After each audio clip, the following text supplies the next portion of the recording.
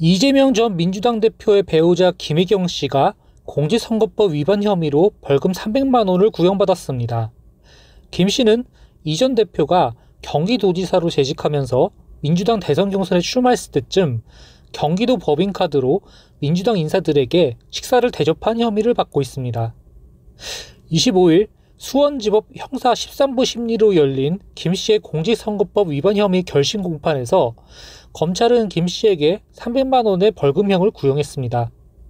검찰은 김 씨의 기부 행위가 선거에 미친 영향이 크고 추가 기부 행위도 있다며 이를 양형에 반영할 것을 요청했습니다. 김 씨는 지난 2021년 8월 2일 서울의 한 식당에서 민주당 전 현직 의원 배우자와 경기도 공무원, 변호사 등 6명에게 10만 4천 원 상당의 식사를 대접한 혐의를 받고 있습니다.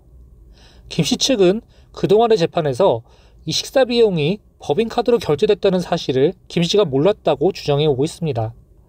뉴스토마토 신태입니다.